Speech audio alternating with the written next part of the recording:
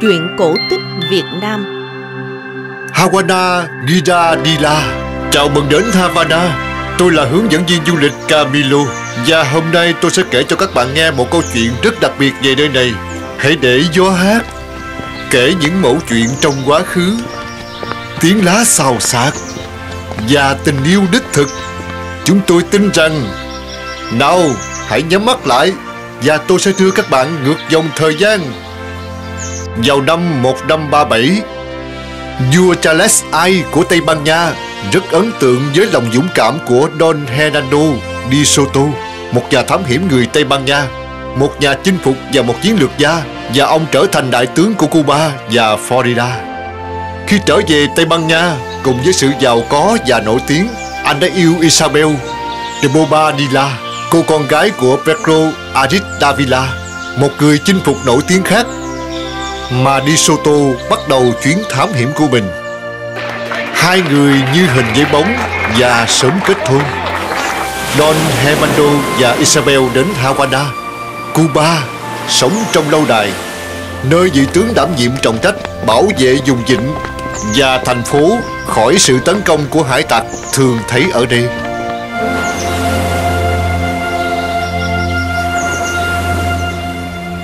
Sao cha lại nhìn ra biển lâu như vậy? Tình yêu của ta. Ta là một nhà thám hiểm em à. Biển gọi ta. Như thể Như thể còn rất nhiều nơi Mà ta chưa khám phá Chưa đặt chân tới Chưa bao giờ.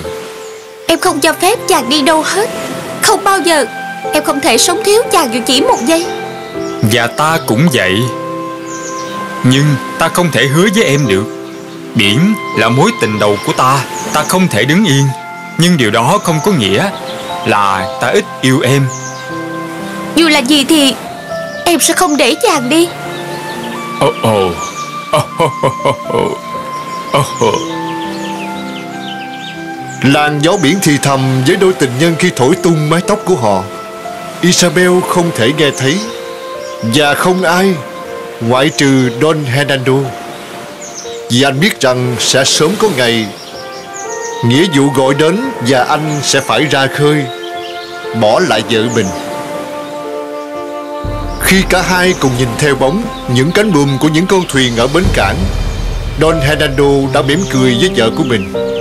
Người mà mình vô cùng yêu thương, Anh cảm thấy được bảo vệ Và an toàn khi ở bên cô. Nhưng dòng chảy thay đổi Và số phận đã sắp đặt một điểm đến. Không may cho đôi tình nhân. Đại tướng Sứ giả ban tin Từ nhà vua đến. Đưa anh ta vào. Tim Don Hernando đập loạn nhịp Khi anh biết rằng Anh hẳn đã nhận được thông điệp từ nhà vua. Đại tướng Don Hernando de Soto Vua Charles đệ nhất đã chấp thuận yêu cầu của ngài Để lên đường đi đến Bắc Mỹ Bắt đầu chuyến thám hiểm của mình. Chờ đã.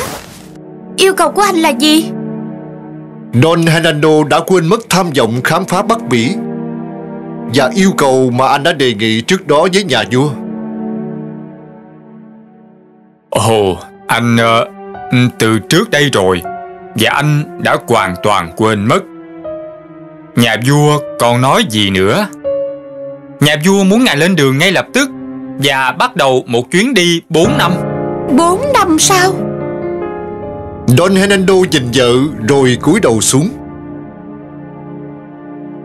Cảm ơn ngài đã đưa tin Nói với nhà vua rằng Tôi sẽ sớm lên đường. Isabel khóc và chạy ra khỏi phòng. Tối hôm đó Isabel đứng trên tháp, chiến đấu với cảm xúc của mình. Don Hernando đã đến, Đứng bên cạnh cô. Trong một khoảnh khắc, Anh ấy không nói gì Và nhìn vào ánh mắt của cô. Sau đó, Ta xin lỗi, Ta đã không nói với em Về yêu cầu của ta với nhà vua. Thật sự thì Ta đã hoàn toàn quên mất yêu cầu đó rồi. Isabel, Nhìn ta này Ta yêu em rất là nhiều. Em là tất cả với ta. Ta không muốn thiếu em dù chỉ một giây phút nào. Chứ đừng nói đến là một ngày Em chính là cả thế giới của ta. Em hiểu không? Vậy thì đừng rời bỏ em. Em luôn tự hào về ta có phải không? Em đã yêu ta vì lòng dũng cảm và sự cống hiến của ta cho Tây Ban Nha. Và bây giờ em lại yêu cầu ta lùi bước à Vậy hãy đưa em đi cùng với chàng đi. Em biết ta không thể dẫn theo em mà. Phụ nữ đi biển quá lâu là không an toàn. Em sẽ ốm và ta không thể để điều đó xảy ra được. Nhưng mà ta hứa sẽ sớm quay trở về. Chàng hứa chứ? Ta hứa. Và bất cứ khi nào em nhớ ta Chỉ cần đến đây và nhìn về phía chân trời Gió sẽ mang mùi hương của em tới ta. Và vào một ngày không xa Ta sẽ trở về bên em. Và nếu như em cảm thấy cô đơn, Hãy nhìn lên mặt trăng, Vì nó sẽ quan sát cả hai chúng ta, Truyền tải thông điệp của em đến ánh sáng nhẹ nhàng của nó, Và ta sẽ tắm trong ánh sáng nhẹ nhàng của ánh trăng này. Isabel nhắm mắt và ôm chồng. Không biết điều gì sắp xảy đến. Và sau đó, Vào ngày 12 tháng 5 Năm 138 Don Hernando Di Soto Cùng với người của mình lên đường cho chuyến thám hiểm lục địa, Kéo dài 4 năm Từ Havana trên 7 con tàu của nhà vua Và hai chiếc du thuyền. Với hàng tấn áo giáp và trang thiết bị, Họ cũng chở được 600 người 24 linh mục 9 tàu và 537 con ngựa, Cùng với rất nhiều đồ dự trữ. Isabel Người hiện đang là thống đốc giếp chính của Cuba. Vẫy tay chào chồng Khi những con thuyền đang ngày càng đi xa.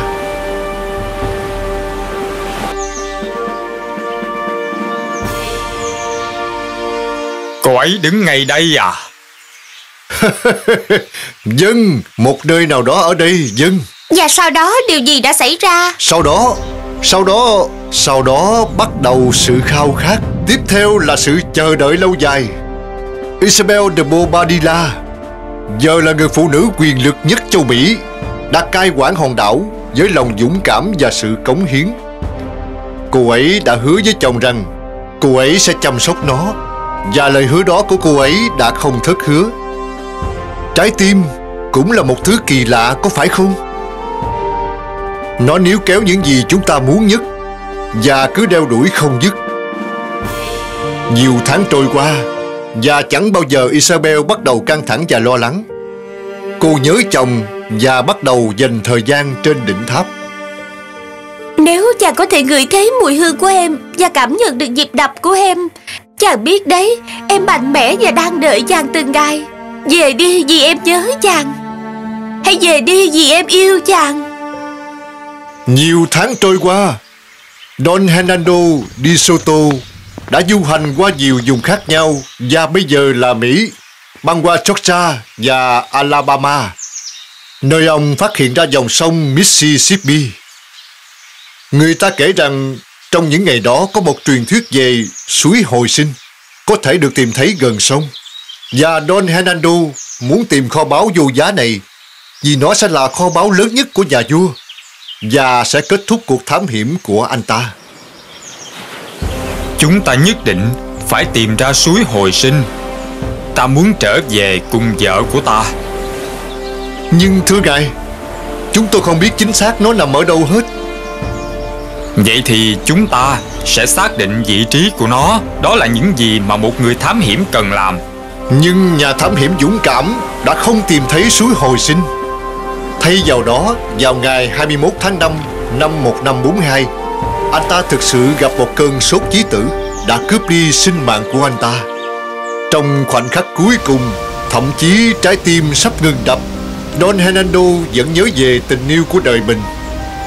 Khi giọt nước mắt chảy ra từ khóe mắt, một làn gió nhẹ nước qua khuôn mặt anh, và trong đó anh thấy có mùi của vợ mình. Mỉm cười, anh nhắm mắt lại. Bờ tây sông Mississippi, nơi chứng kiến anh ra đi mãi mãi. Ôi không Và điều gì đã xảy ra với Isabel tội nghiệp? Ờ, Isabel. Isabel không đoán được rằng ở vùng đất xa xôi Chồng cô đã chết Và sẽ không bao giờ trở về nhà. Cô ấy đợi Và đợi Và đợi và đã dành nhiều năm ngồi trên tòa tháp của lâu đài Để nhìn ra đường chân trời trên vịnh Hawada, Tìm kiếm dấu hiệu về sự trở lại của chồng cô. Cô ấy không ăn không uống Vì dành phần lớn thời gian trên tòa tháp, Tìm kiếm phía chân trời, Hy vọng nhìn thấy hình bóng của một con tàu Đưa chồng cô ấy trở về ơi, mặt trăng. Người bạn đồng hành trung thành của bầu trời đêm, Trung thành với tình yêu giữa tôi và chồng. Dân chồng tôi, Người vượt biển. Xa anh, Tôi có một tin nhắn cho anh ấy. Hãy giúp tôi gửi đến anh ấy. Tôi đã gửi gắm thông điệp của tôi với ánh sáng của bạn. Nói với anh ấy rằng tôi không thể chịu thêm bất kỳ nỗi buồn nào nữa. Tôi không thể nhìn thấy anh, Nhưng bạn chắc chắn đang đi cùng anh ấy. Xin hãy gửi lời nhắn của tôi. Tôi đang rất muốn gặp anh ấy. À, Nhưng thuyền của Hernando không bao giờ đến. Và thay vào đó là tin tức về cái chết của Hernando. Không! Isabel tội nghiệp Không thể đón nhận và thậm chí chết trong đau khổ. Vào năm 1946 Thật buồn làm sao Chờ đã Câu chuyện vẫn chưa kết thúc. Vì Isabel vẫn còn sống Và hy vọng của cô ấy Về sự trở lại của chồng mình. Gì chứ? Dân Bạn thấy đấy. Thật xúc động với câu chuyện. Nhà điêu khắc Geronimo Martin Vinson đã làm một bức tượng với trong chóng gió. Từ những năm đầu của thập niên 1960 đã canh giữ vị trí cao nhất trong pháo đài phía bắc của lâu đài hoàng gia. Bức tượng đó là của Isabel à? Wow! Dân Người phụ nữ ngẩng cao đầu Và nhìn ra xa chính là cô ấy. Bức tượng đã được đặt tên là Hawana Giradilla Lấy cảm hứng từ El Giradillo Nằm trong nhà thờ của Civilian. Nhưng những gì bạn thấy hiện tại trên hoàng gia là một bản sao. Bức tượng gốc đã bị phá hủy bởi một cơn bão mạnh tấn công hòn đảo vào ngày 20 tháng 10 năm 1926. Ngày nay, sau khi đã được trùng tu và thể hiện vẻ đẹp huy hoàng của thời gian qua, bức tượng được đặt tại bảo tàng thành phố. Nhưng dù sao là bản sao, đây là cách Giradilla kể cho chúng ta về sự bất hạnh của cô ấy và bình tĩnh khi canh giữ Hawada. Có lẽ Hernando vẫn chưa chết, và có thể một ngày nào đó, Một số du khách từ những vùng đất xa xôi Sẽ mang theo tin tức háo hức Và đi cùng vợ anh Trong ánh mắt bần thần của cô. Có người nói, Nhiều lúc cô thấp thỏm Trong ngóng chồng của mình, Trong những người qua đường. À cảm ơn bạn rất nhiều Camilo Chúng tôi sẽ nhớ mãi câu chuyện này. Không có chi. Bây giờ hãy cho bạn thấy những điểm thu hút khác của Havana.